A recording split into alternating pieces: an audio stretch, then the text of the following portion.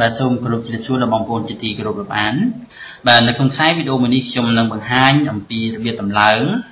កម្មវិធី QuickBook Enterprise Solution 2016បាទបាទអញ្ចឹងទី1ដើម្បីតម្លើងបានគឺយើងត្រូវមាន file តម្លើងរបស់វាហើយខ្ញុំនឹងភ្ជាប់ file តម្លើងនេះនៅក្នុង link ខាងក្រោមសម្រាប់បងប្អូនដែលចង់បាន file បាទអញ្ចឹងទី1គឺយើងមកស្ដាំលើវាហើយយើង run admin មកបាទ នៅពេលដែលយើង run as admin មានន័យថាវាអាចឲ្យយើងដំឡើងបានងាយស្រួលឬក៏យើងអាច double click ទៅលើ file ដែលយើងចង់ដំឡើងនោះក៏បានសូមសូមរកចាំមួយផ្លេតដែលប្រហែលជាអាចវានឹងដំណើរការយូរបន្តិចបាទ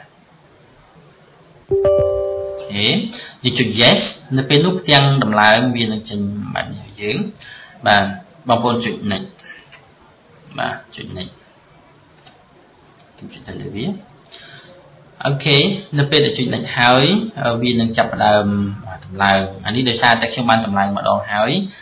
ខ្ញុំយក yes to all មកភាពពិតទាំងនេះមិនគួរចេញទេបាទតែដោយសារខ្ញុំធ្លាប់បានតម្លើងម្ដងហើយអញ្ចឹងខ្ញុំចុច yes to all បាទនៅពេលនោះវានឹងចាប់ផ្ដើមដំណើរការការងាររបស់យើង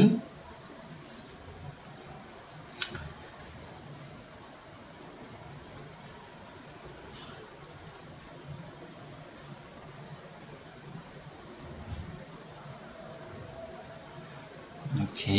reloading welcome to Facebook institute Facebook អីហើយមកវាប្រាប់ផ្សេងផ្សេងនៅក្នុងការបរិយានេះ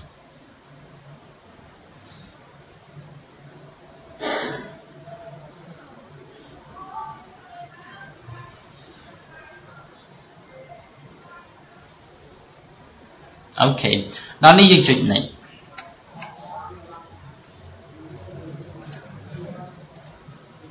អូខេ ហើយយើងកន្លែង license agreement យើងคลิกយកពាក្យថា I accept the term of the license agreement បាទខ្ញុំคลิกខ្ញុំធីកលើវាហើយចុច next next អូខេបាទនៅពេលនោះ Facebook នឹងរៀបចំការដំណើរយើងអូខេបន្តមកទៀតបងប្អូនត្រូវប្រាក់ត្រូវវាយ license number ដែលបានបង្ហាញនៅខាងក្រោមនេះ ហើយខ្ញុំនឹង save ជា file text នៅខាងក្រោមឲ្យបងប្អូនផងដែរបាទ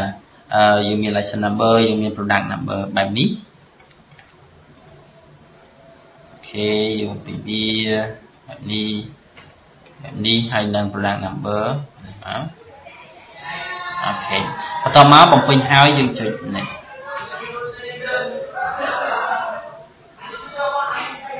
បាទចុច next បាទអឺដល់កន្លែងនេះគឺយើងវាពាក់ព័ន្ធទៅនឹង network option ទី1ខ្ញុំសូមបង្ហាញទទួលទី1ថា I be use QuickBook on this computer មានន័យថាយើងតម្លើងហើយយើងប្រើនៅក្នុង computer នឹងតែម្ដងនឹងយើងយក option ទី1 option ទី2 I be use QuickBook on the computer and I will be store our company here so uh, it can be share over our network បើសិនជាក្នុងករណីបងប្អូនចង់ share ទិន្នន័យពី computer បងប្អូនឲ្យទៅ user ផ្សេងៗបងប្អូនប្រើ option ទី2នេះបាទទី3 I will not use be use Facebook on this computer I will be store our company file so that I can share បាទអញ្ចឹងកន្លែងនេះបើសិនជាយើងដាក់ជា server ធំយើងមិនចង់ប្រើ computer របស់យើងនេះទេតែយើងចង់ store ទៅនៅក្នុងនេះហើយយើងយក option ទី3បាទនេះសម្រាប់ user ធម្មតានេះសម្រាប់យើងទាំង store ទៅនៃផងទាំង user ផង ហើយអានេះសម្រាប់តែ store តំណែងបាទអញ្ចឹងសម្រាប់ purpose នេះខ្ញុំយកការទី1បាទហើយយើងចុច next អូខេចុច next អូខេតង់នេះគឺទីតាំងដែលយើងត្រូវដំឡើងអញ្ចឹងបងប្អូនអាចដូរវាប៉ុន្តែខ្ញុំមិនបាច់ដូរទេអញ្ចឹង default location របស់វាគឺ program file Institute QuickBook Enterprise Solution 2016មក2016ចឹងមកអូខេ បាទអញ្ចឹងដោយសារខ្ញុំបានតម្លើងនៅកម្មវិធី Facebook version ចាស់មួយទៀតអញ្ចឹងអាច replay ក៏បានឬក៏យើងអាចតម្លើងទាំងពីរព្រមគ្នាក៏បានបាទហើយចុច next បាទអញ្ចឹងខ្ញុំរឹកមក next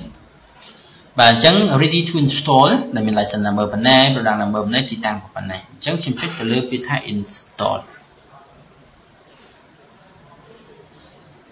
អូខេត្រង់នេះបងប្អូនមិនបាច់ខ្វល់អំពីរឿង user ID ទេយើង just keep stand still យើងនៅធម្មតារងចាំ progress បាននេះវាដើររហូតដល់ចប់បាទមានន័យថាការដំឡើង QuickBook យើងគឺបានជោគជ័យបាទបាទអញ្ចឹងសូមរងចាំដំណើរការនេះរហូតប្រហែលជា5នាទីយោងទៅតាមល្បឿននៃកុំព្យូទ័ររបស់យើង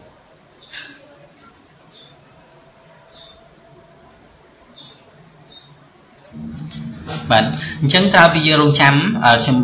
មិញខ្ញុំកាត់កុំឲ្យវាយូរពេកអញ្ចឹងខ្ញុំបានកាត់វាអញ្ចឹងក្រៅពីយើងដំឡើងវាអស់ហើយបែបនេះហើយអឺវាដែលដំណើរការចប់វាដាក់ថា configuration Facebook has successfully installed បាទបន្តមកទៀតគឺយើងអាចបិទវាឬក៏យើងអាចបើក Facebook នៅក្នុងជំរឿននេះវាឲ្យយើងបើក Facebook តែម្ដងអញ្ចឹងខ្ញុំអាចបើកវាខ្ញុំចុចបើក open Facebook ចំពោះនឹងឃើញកម្មវិធី QuickBook 2016ជាបាទនេះ welcome to uh, QuickBook welcome opening អញ្ចឹងមកបាទ into QuickBook Enterprise បាទអញ្ចឹងវាទាមទារអាចទាមទារឲ្យយើង registration បាទអញ្ចឹងខ្ញុំប្រហែលជាអឺនៅបង្ហាញពីរបៀប registration ហ្នឹងនៅពេលបន្ទាប់ តែចង់ប្រាប់បងប្អូនថាអញ្ចឹងការតម្លើងរបស់យើង Facebook 2016ហ្នឹងគឺចប់ប៉ុណ្ណេះឯងហើយដំណាក់កាលបន្តខ្ញុំនឹងបង្ហាញអំពីរបៀបនៃការ registration នេះបាទដូចជា registration now ដែលមានវិធីសាស្ត្រមួយចំនួនខ្ញុំនឹងប្រាប់នៅខ្សែវីដេអូបន្តបាទសូមអរគុណច្រើនសូមជម្រាបលា